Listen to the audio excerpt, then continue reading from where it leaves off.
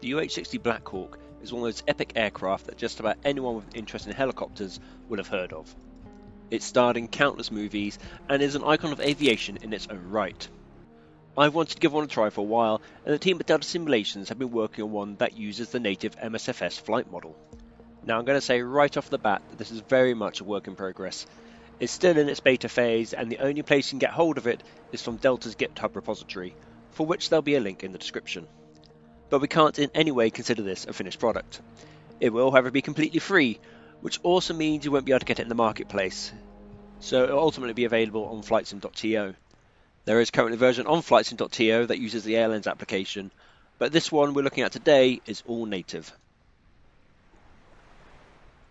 On the outside, this thing looks magnificent. This is one of the liveries it comes with, which I picked because it seemed to have all the extras on it, like the refueling probe and the rocket pods. As far as I can tell, these are purely aesthetic and non-functional. Inside, the textures are a little basic, but it doesn't look too bad. However, there are a lot of non-functional switches. I've not found anything on the center pedestal that does anything, and the buttons on the MFDs don't seem to work either. There's also this tablet that appears to be floating next to the Cyclic, but not currently functional. But again, this isn't a finished product, so that may change. It primarily seems to be the overhead panel that works at present, which is really all we need to get started.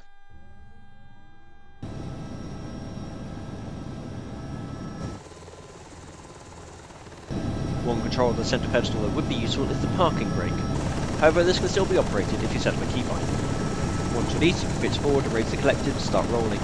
You don't need a lot of collective, and it moves pretty smoothly. And you can use the toe brakes to come to a stop.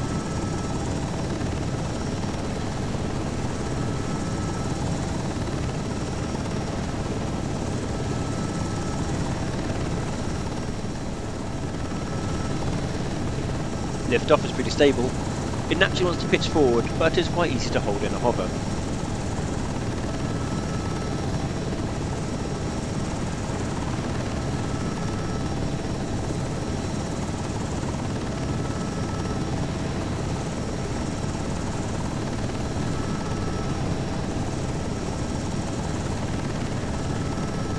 It does feel a little underpowered though, like it's struggling to climb. And as we move off the end of the carrier and lose ground effect, we do also lose some height. However, it will climb gradually, and you may want to adjust your pitch trim afterwards so that you're not pulling back on the Cyclic the whole time.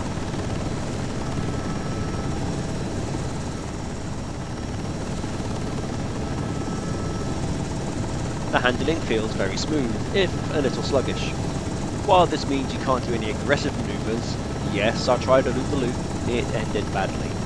It also means that it's pretty easy to handle, my main point of concern is the elevator on the tail.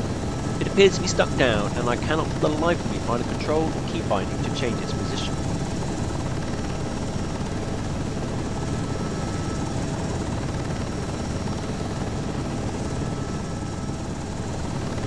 I'm going to bring it to land on the back of the ship. This thing is pretty stable, so landing is fairly easy.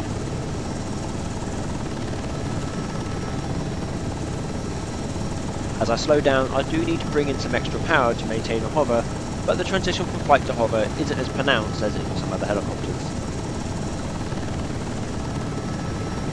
The main challenge is visibility. These big military helicopters tend to not have the best downwards visibility, but with the magic of VR, I can lean forwards and look down the nose of the aircraft.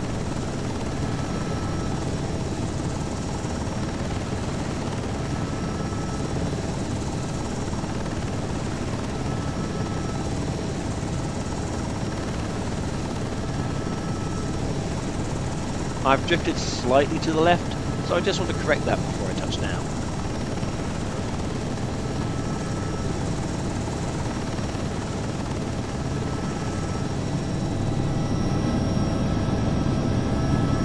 Shutting down seems to be an issue. I would expect, having set the power to off and shut off the fuel, that I would start to hear the engine winding down, but nothing seems to happen until I turn off the battery and apply the rotor brake. The rotors do eventually stop, but it takes a while.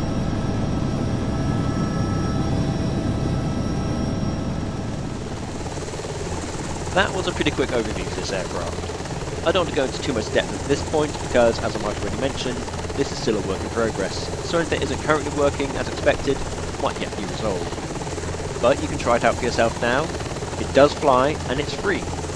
I'm quite excited to see how it develops and would love to see some more interactivity in the cockpit and maybe some documentation as I've not found any yet. That's it for now. Till next time, fly safe.